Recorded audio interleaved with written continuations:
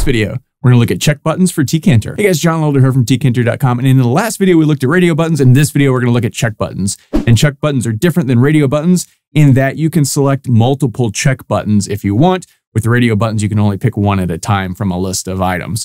Check buttons are a little bit more complicated than radio buttons, but not too bad at all. So before we get started, be sure to grab your totally free PDF copy of my tkinter Widget Quick Reference Guidebook. This thing is awesome, over 150 pages with all the tkinter Widget attributes. Grab your free copy today. Just head over to tkinter.com forward slash widget dash book. Enter your email address, and I'll send that right out to you. And while you're there, think about membership in tkinter.com. You get all my courses, all my future courses for one low price. Use coupon code YouTube to get 30% off membership if you're interested. So let's learn about check buttons. Let's head over to our code. I'm using the Sublime Text Editor in the Git Bash terminal as always. And as always, you can find a link to the code in the pinned comment section below, as well as a link to the playlist with all the other videos in this intro to tkinter series. So check that out if you haven't so far. So I've got our basic tkinter starter code. I'm calling it checkboxes.py. Just like with radio buttons from the last video, we need some sort of variable to keep track of which box has been checked or not. So in the last video, we used the string var. In this video, we're going to use the int var, and you'll see why in just a second. So uh, let's create some int vars. So I think I want three check boxes. So I'm going to call this var1, and this is going to be an int var. Now notice the I and the V are both capitalized there. And like I said, I want three of these, so we'll just call this one var2 and var3. Now, uh, you might want to change these to something more descriptive. So our checkboxes, we're going to stick with the pizza theme that we looked at in the last video with radio buttons. We're going to have pizza toppings, so maybe I, I would call those toppings ones, topping two, and topping three. Whatever, uh, just sort of name them whatever you want. So now let's create three checkboxes. So I'm going to call the first one check one. And again, you could name them something better. And a checkbox in tkinter is actually called a check button. So it's not a box, it's a button, which is a little weird, right? A radio button. Radio button's not really a button either, but it's a check button. So, all right, we want to put it in root. We want the text to say, let's have our first one say pepperoni. And again, we need to set a variable. So we'll have var1 for that. And that needs to be a comma. There we go. Now, unlike radio buttons, we need an on value and an off value because at any given time we could check or uncheck a box. Not so with radio buttons. You're selecting one and it automatically unchecks all the rest of them. But with checkboxes, you can select multiple checkboxes. So we need an on value and an off value. And so I'm going to give this an on value of one and an off value of zero. Now we can do one and zero because we're using int vars. One and zero are integers. Int is short for integer, integer variable. We could use a string var here. We could, you know, call this a string var. And in that case, we would need to use a string here. So I would maybe call this pepperoni for the on value and the off value. I don't know, maybe just nothing or something, right? But we're going to use integers because in this case, it's just kind of easier. And you'll see why in a minute. So, okay, we've got an on value, we've got an off value. And that's really it. I'm also going to give this a font just to make these a little bigger, just for fun. Uh, so let's go Helvetica, like size 18, something like that. So, all right, I'll copy this guy. And now let's check one dot pack. And let's push this down the screen. So let's give it a pad Y of, and let's use a top wall. We want it down 40 and then 10 underneath. That looks good. Let's copy this and let's make two more. So I'm going to call this one check two, check two. And this one will be check three, check three. Whoops, there we go. And let's have this one be cheese pizza. And we'll have this one be mushroom pizza. And this needs to be var2, and this needs to be var3. Now you'll notice I'm going to keep the on value and off values the same for all of these at 1 and 0, because you'll see why in a minute. So, okay, this creates our checkboxes. And let's save this and run it just to make sure this is working okay. I'm in my C slash tkinter directory. Let's run python checkboxes.py. And boom, we get our checkboxes. They don't actually do anything. We can select any of them that we want. We can have multiple ones selected. Very cool. And that seems to work. Now, just like radio buttons, we can have a command fire whenever we click one of these things or not. So if you wanted to have a command when each one is selected, you would just give them a command of, and then let's say clicked. Right now we don't have this yet but we're going to come up here and create it in just a second. So let's define clicked. And for now, we'll just pass. So anytime this is clicked both on or off, this function will get called and you could do anything you want. So let's come down here and let's create a label. And I'm just going to call this my underscore label. And this is going to be a label. We want to put it in root. We want the text to say nothing at the beginning or uh, pick a topping. There we go. That'll work. Now let's give this a font of, uh, let's go Helvetica and size 18, make it a little bit bigger. And then let's my underscore label dot pack this guy. Give it a pad Y of 20, push down the screen a little bit.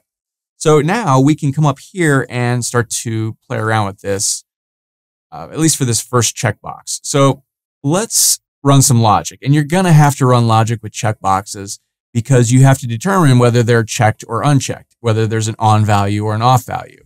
So let's say if var1.get equals 1. So if we click it, this on value gets assigned to our int var. If it's not clicked, then this zero gets assigned, right? So if it equals one, let's go my underscore label dot config and set the text equal to pepperoni. Else, we just don't want to really do anything. So let's just pass for now. So let's save this and just see if that worked. So it says pick a topping. We click pepperoni. Uh-oh, we get an error. What happened here? Ah, var doi. That should be var1, of course. Uh, there we go, var1. All right, try it again. All right, so we click this, boom, it says pepperoni. If we uncheck it, nothing happens because we didn't tell it to do anything, right? We could have, we could have, you know, gone like this. And I don't know, maybe we'll just clear this. Let's go ahead and save this and run it. Pepperoni, we unclick it, it disappears. Pepperoni, un- so okay, that works, but we haven't done anything for the rest of these. And also, I really don't like this, right? I don't want it to be when you click the box, it runs the function because, you know, with forms, there's often lots of things in a form and a checkbox. So you you may still be filling out the other things in the form. You don't want to like submit the form or something when you click this checkbox. Uh, so let's take that off and let's do it the, the way you're more likely to do it by adding a button. So let's come down here and let's create a button. And I'm going to call this my underscore button. It's going to be a button. We want to put it in root. We want the text to say, I don't know, submit. And let's give this a command of, what do we call this function? Clicked. So there we go.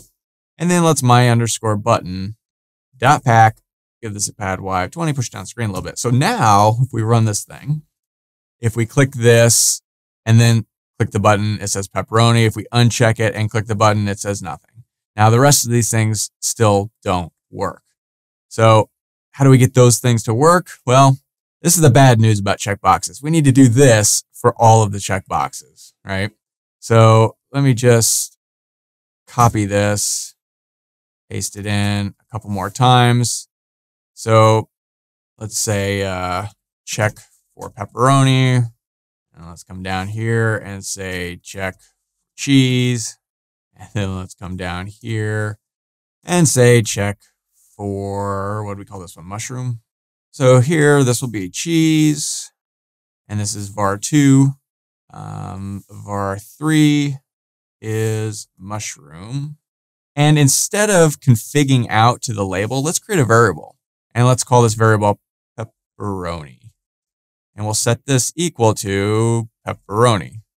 Else, let's set that to nothing. All right, so we'll do the same thing here for cheese. We'll call this one cheese, and we'll set that equal to cheese if they select it.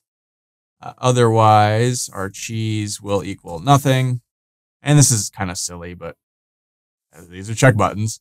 And finally, let's give this variable called mushroom, and it will be mushroom Otherwise, mushroom will be nothing, right? So now let's run some more logic. So let's say nothing is checked, right? What do we want to happen? Well, if pepperoni or cheese or mushroom is selected, then let's go my underscore label dot config and let's set the text equal to you. Actually, let's make this into an F string you selected, and then here we'll put our pepperoni output and our cheese output and our mushroom output. Else, if none of these have been selected, then let's my underscore label dot config and set the text equal to you didn't pick anything. Just a little silly logic to do something. And here we click pepperoni. It says you selected pepperoni. If we click pepperoni and cheese, it says you selected pepperoni cheese. Maybe we'll put an and signer in there or something. Do all three. You selected pepperoni, cheese, and mushroom. Get rid of cheese, pepperoni, and mushroom. If we get rid of all of them, don't select any of them. Hey, you didn't pick anything. And there you go. So, like I said, a little bit more complicated than a radio button because we just have to account for all this stupid logic, right? And there's probably a more elegant way to do it than all of this, but I just wanted to be explicit in this video to show you exactly what's going on here and uh, and see. Now, this is why we picked ones and zeros for our for our on and off value. You know, if each of these was a different word for a string var, we would have to say if, you know, var1 equals, you know, pepperoni or whatever, right? But we used integers, so we could just do a quick and easy one or zero, if else, and uh, eh, that's all there is to it. So I hope you understand the functionality here of, you know, having this button called and then running a function. Once you run the function, you can do anything you want in here. We just did some silly outputting some text onto the screen. But, you know, if they picked pepperoni, you could fire any other function you wanted just using this mechanism that we just went through, you know, just whatever you want to do. So pretty simple, pretty straightforward, just, you know, kind of silly. That's a lot of code for figuring out whether a checkbox was selected or not. But whatever, checkboxes are very useful. You'll use them for all sorts of things and they're pretty easy to use. And that's all there is to it. So that's the checkbox or check button widget very similar to the radio button widget. In the next video, which should pop up up here in just a second, we'll look at the combo box, which is basically a drop down menu, just another way to select items and should be a lot of fun. So my name is John Elder from tkinter.com and I'll see you in the next video.